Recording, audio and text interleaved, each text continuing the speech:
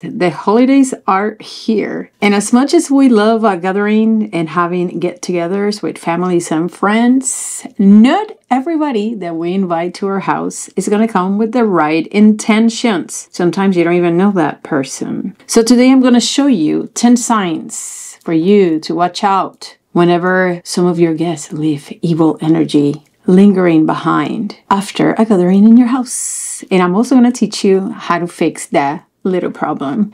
If this is something that interests you, stick around because it's coming up right now.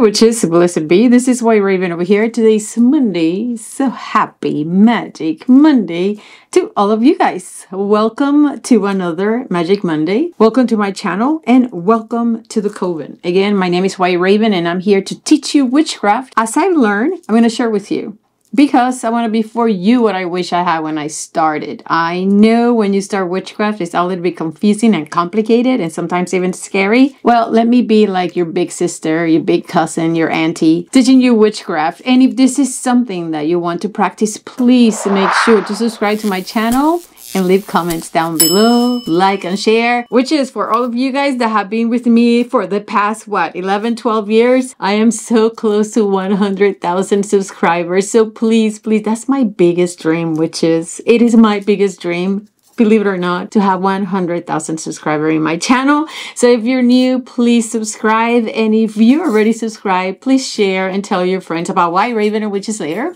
Which takes me, I love you guys have been here from Reddit. I am so excited about that. If you are one of those people, I welcome you. I am so excited. I am not in Reddit. So I don't even know how to use Reddit. So don't judge me, okay? I'm old. But I'm really super excited for all the people that have find their ways, your way to me because of Reddit. I am so excited. So I will welcome you all. Which is, I know that some of you guys have a lot of questions. Let me answer this one right off the bat, right from the get go. I do not work for people. I do not work for people. So if you have any questions wanting me to work for you, I, I don't do that. However, I am here to empower you so you can do your own magic. So you don't need anything from anybody. Sometimes we do need professional help. Even witches need other witches to help us out with some situations. But most of the time we can can take care of our own situations ourselves. So I'm here to do that for you, to empower you, but I do not work for people. If you need to email me, like you actually need to email me because you have a questions regarding magic, you can go into my website, whiteravenandwitcheslair.com. I have a beautiful website with a lot of products and things that you can use for your magic. Whatever I discuss here and I share spells with you is going to be in my website. A lot of that stuff. Otherwise, you can just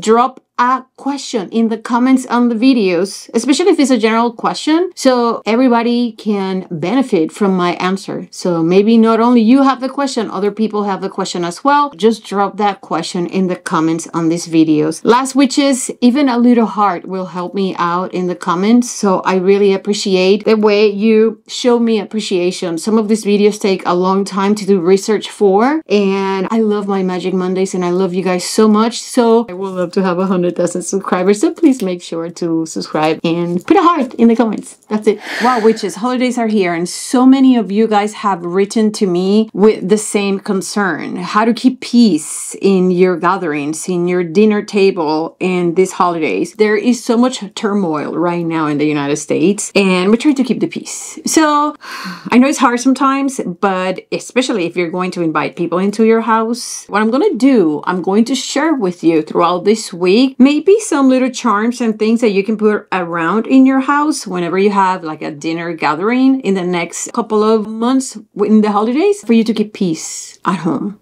Okay, but today what I'm going to share with you are 10 signs that you need to watch out for just to recognize that somebody have left trickling behind some dark evil energy in your house. Okay, so who is this spell good for? If you're hosting a holiday dinner gathering, this spell is for you witches because this is going to ensure that you know how to energetically clean your house and just keep it safe, right? After having a gathering. If you are an empath and you're highly sensitive and you're going to have people coming into your house, this spell is for you, witches, because I'm going to show you just very simple ways for you to protect yourself. If you are experiencing any type of bad luck after a gathering, this spell is for you because this way you're going to know how to recognize the signs and how to cleanse yourself and keep yourself, you know, protected just in case you go to a gathering later on or you have another gathering in your house. Now you know how to protect yourself and clean after your gathering is done.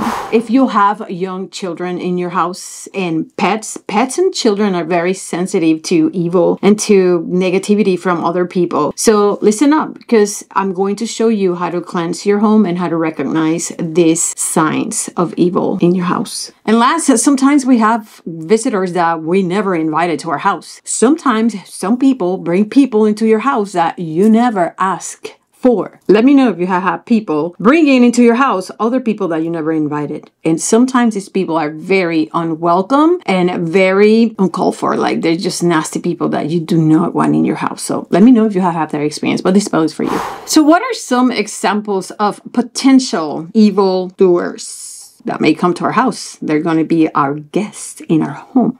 Well, number one, surprise, surprise, something that most of us know, some envious family members and even friends. They're act very supportive when they're in front of you, but behind you, they really envy you and they want everything that you have. They resent right? Your happiness and your success. You have to watch out for that people because that is very common, witches. There's many of those. So watch out for that people. Another example, the chronic complainer. You get somebody in your house and the only thing that that person does from the second they touch your floor is complain, complain, complain, complain, and complain. They have like a dark cloud walking with them and they bring that into your house, witches, and that lingers. That is like stickiness. Wherever they touch, they just, it gets sticky. It's just so awful when you you have somebody like that. I mean, you feel this energy when they come into your house. Well, that's somebody that you need to watch out for because they could potentially, and sometimes they do it without wanting. So there's people you have to watch out for. The drama, the drama king or the drama queen, the one that wants to stir up shit, arguments, and they just disturb the peace. There's always somebody out there that wants to be the center of attention. And sometimes the center of attention is somebody funny and somebody that is actually the soul of the party, right? And that's good. That's great. It's always always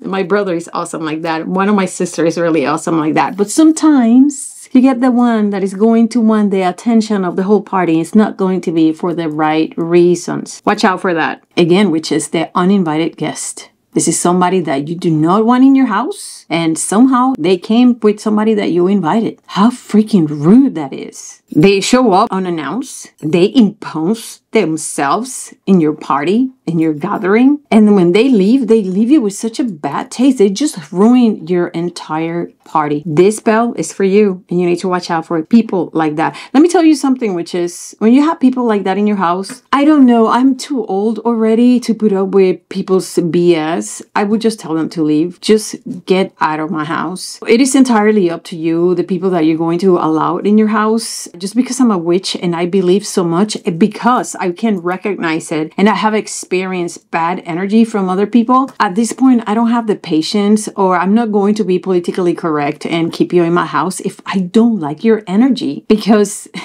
that's going to be a lot of work for me afterwards to start cleaning. So it's up to you, witches, but watch out for the uninvited guest. Last, which is the very way too curious visitor. They snoop through things. They want to look at the things that you have. And they do it so discreetly, so secretive. And people like that, witches, are going to leave behind disrupted energy and very intrusive vibes that you don't want in your house. So, witches, watch out for these people. And I mean, the list can go on and on and on and on, but these are some examples of people that you may want to watch out for whenever you have a gathering in your home. So let's discuss now 10 signs left behind any of these not so nice guests in your gatherings. Which number one and the most important thing that you need to follow is your gut. If you have a gut feeling, if your intuition is telling you that after your gathering something is off, trust your gut feeling and address it right away. And that is my number one telltale sign. Number two, missing items. And when I say missing items, listen, sometimes people that go into your house will rob you. I have experienced this in my own blood. I had a friend that I really love and she came and visited me into my house and after she visited me a couple of days after I realized that one of my most precious rings, you know I love rings, was gone. Never knew what happened with my ring. And guess what? Which is months after I went to visit her in her house and I needed to use the bathroom and the guest bathroom was occupied. And she told me to go to her bathroom upstairs. And guess what I found in the cabinet in the bathroom, which is, you guessed it, my ring. It was there. I left it there. I didn't take it back. Bad energy. But I'm sure she knew that I saw it. And I hope that serves her as a punishment for the rest of her life. Wherever I stop and whoever knows this person, I tell this tale. So everybody knows she's a thief. But in any case, when things start disappearing in your house, not necessarily because they've been stolen, but for example, after you're gathering, you can't find your keys, you can't find your phone, you feel confused. It's like, oh my God, where did I put my keys? Where are my keys? You know, for example, where's my phone? Where are my glasses? Where's my purse? Things like that that. That is a sign for you to recognize that perhaps after your gathering, somebody left some evil dark, nasty energy behind. Number three, minor house issues. Your toilet gets clogged. Your sink drain starts to slow down. Pipes start leaking for no reason. Things of that nature hey, that could indicate nasty energy lingering behind after you have your gathering. Because energy blockages can manifest as physical blockages in your home. So watch out for that. Number four, appliances breaking. Like for example, your fridge stops cooling, your toaster shorts out, or your coffee maker breaks down. Oh my God, that is that will be a catastrophe in this house. Coffee is life. It is very common for negative energy to mess up with electronics and with kitchen appliances specifically. So watch out for that. Number five, your pets are acting weird. Again, which is if you have cats, if you have dogs, if you have birds, watch out because pets are going to tell you quickly. Pets are so sensitive to energies. So watch out for the way your pets behave because they'll tell you more than what you can imagine. Number six, if you feel fatigue and drain after, especially right after you're gathering with people leave, and I'm not talking about drain and fatigue because all the stuff that you're doing, you're washing dishes dishes, cooking, organizing, blah, blah, blah. No, no, no, no, no. It's going to, you're going to feel a different type of drainage. Perhaps you have help, perhaps everything is done and you still feel extremely drained. It's going to be a very heavy mental fog and drain when you are exposed, especially if it's one of those people that are always complaining with the dark clouds. You're going to feel that in your skin. You're going to feel it in your head. You're going to feel it in your chest. Watch out for that uh, drainage of energy because it's a sign that perhaps somebody have left something behind. Number seven, things are falling. You get frames that are falling and breaking. You have a glass in your hands that fall out of your hands. Like, why? And just break. If you have pictures that are falling from mantles, things like that, you have to watch out for that. Whenever things break, things absorb energy, especially anything that is made out of glass or out of ceramic. They absorb dark energy. And when they start breaking, that's a big sign that something is lingering. So Pay attention to that. Number nine, something really important as well. If your plants start to die and they get really sad and you don't know what's wrong with your plants, your plants was fine and you just don't know. Something that I learned a long time ago by a chrome witch. Whenever you have gatherings at home, aloe vera is very good. Aloe vera will absorb dark energy. If you're going to have a get together at home, I suggest for you to get some aloe vera plants and put them around because they will absorb dark energy. As a matter of fact, this Chrome Witch is a very popular tarot reader uh, back in Puerto Rico and she had aloe veras in her office where she does the readings because, you know, when you do reading for people, there's a lot of different energies coming with these people and things coming with these people. So one of the ways for her to protect herself was with aloe vera plants. So that's an idea for you just in case. And number 10, something that uh, that's a problem. If you start having arguments and tension between you and your significant other or the family, the whole entire dynamic of the family start changing and there's a lot of arguments and fights and things like that, definitely, which is somebody left some, something behind. And I usually relate that to envious family members and people that covet what you have. Envious people coming into your house. I relate these fights and disharmony, disruption in the energy of your home, right? In your harmony. I blame all that to envious family members and envious friends, especially the ones that you don't know that are envious towards you. So, how do we clean all this? Because witches, you have what it takes to do this. Don't freak out, calm down, you can fix it. That's what I'm here for. I'm going to give you the solution. It's going to be quick. It's going to be simple. And I'm very excited to share this with you. So let's get into the counteracting the reversal of all this energy. We're going to sweep, sweep, sweep, sweep the bad out. You know what? We're witches and this is why we have brooms. I love brooms. You have no idea. Brooms are such a great tool. So the first thing that you're going to do, which is, and of course, some of you guys may have carpets in your house. Some of you guys may just have tile in your house. But this is what we're going to do. We're going to go in all the rooms in our house and we are going to sprinkle sea salt. And if you have holy water, also sprinkle some in your environment. in any case, we're going to pour sea salt in our floor and we are going to vacuum it and we're going to start from the back all the way to the front. But if you have tile in your floor, you are going to use your broom and you are going to sweep all the way from the back to the front. If you have carpet or if you have tile and you are able to do this, I suggest for you to buy a coconut in the supermarket, the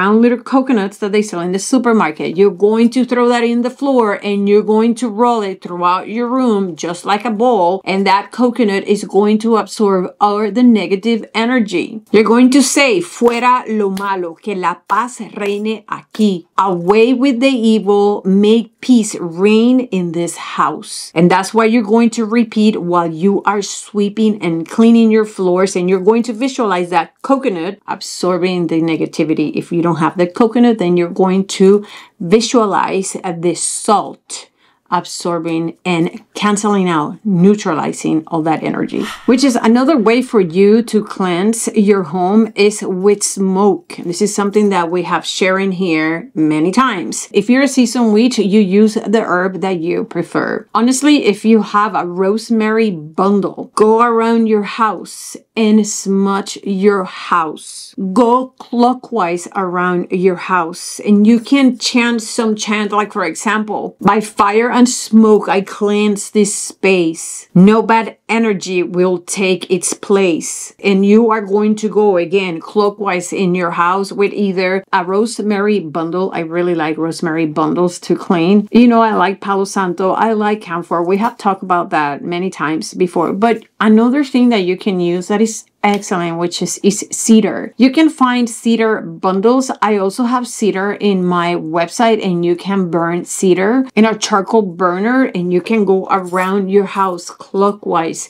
just cleansing and fumigating with the smoke your home. We're going to create a lemon and cloves little bowl with water. So you're going to slice a lemon, you're going to put some cloves on the lemon and you are going to place this lemon in a plate with a little bit of water and you're going to leave it in problematic areas or in discreet areas, wherever you want to leave this bowl. Now you're going to leave this bowl for about three days. And after three days, you're going to throw that away and give it back to Mother Nature. Another thing that you can do, you can cut an onion in half and you're going to put your onion, you can put them in your window sills or you can put it in problematic areas. I usually cut one in half, put it in a little dish and just put it in my windowsill until I see that it start turning like brown or it's getting drier and old and then I just discard of that onion. Onions are going to absorb energy. Onions also have a lot of sulfur so they will repel any evil energy. Another thing that you can do is just get a little small mirror that you can stand and put it in a table that is close to the front door. So you're going to put that mirror looking at the front door, pour some black salt around your mirror and that is going to act as a reflective tool sending back to its source all the evil energy that has been left behind. Last idea that I can give you, which is, and I'm trying to be very simple with these ideas that I'm giving you because I don't want you to have any troubles with this situation. I want you to be prepared. So go to the supermarket, go to my website, go wherever it is that you need to go and get some of these things just in case because you want to prevent before this happens, okay? Es mejor prevenir que lamentar. That's what we say in Puerto Rico. So in any case, Florida water. You're gonna carry a candle in one hand and your bottle with Florida water in the other hand. This is what you're going to do. And please be careful mixing Florida water with fire because Florida water is flammable. So keep them separated. All right. You're going to have the white candle in one hand and you're going to have your Florida water in the other hand. And you're going to sprinkle the Florida water in your rooms while chanting this chant. Con esta luz y esta agua protejo mi hogar de todo mal. With this light and this water, I protect my house from all evil. And those are a few rituals that you can do to cleanse your home after any gatherings if you feel that someone has left something behind that is unwelcome and you want to get rid of it immediately. Which is your home is your sanctuary. Nobody enters your home or lingers in your home unless you allow it. If you notice any of these signs, do not panic, witches. You have the tools in this video to cleanse and protect your home from all this nastiness and dirt left behind by unwanted and evil guests. If you have had any experiences in any gathering that you have had in your house, please make sure to leave them in the comments. Share with me. I will love to know and let me know what you did to clean this bad energy away. I love when you share this type of things with me. And sometimes I even take notes and I write them down. What you tell me, I write it down. So please, if you know of anything else that you want to add on, make sure to drop a comment down in the video. Which is make sure to be attentive to the channel this week because I will be sharing with you some discreet arrangements that you can create to keep the peace while you have people in your house. And that's it, which is I really hope that this spell reaches you at the right time. I hope you enjoy it and I hope that empowers you and takes that stress away from you and that anxiety away from you. I'm very happy to share all these things with you. If you have any questions, please drop a comment in the video so everybody can benefit from the answer. If you want something more private, you can go into my website, whiteravenandwitcheslair.com, and and you can email me there your question. Also remember that I am in Facebook on White Raven and Witches Lair and you can message me there as well if you have any particular questions. Other than that, which is remember to stay smart. Knowledge is power. You must dig, you must study, you must research, but with all that knowledge and all that wisdom that you gather, make sure that you need to discern and you have to stay so very mwah, wicked. See you Monday. Bye.